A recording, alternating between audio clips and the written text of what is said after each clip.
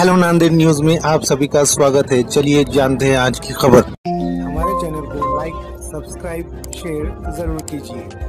महाराष्ट्र की राजनीति में बड़ा परिवर्तन लाने वाले एकनाथ शिंदे के साथ गए नांदेड़ उत्तर के आमदार बालाजी कल्याणकर का आज नांदेड़ आगमन हुआ।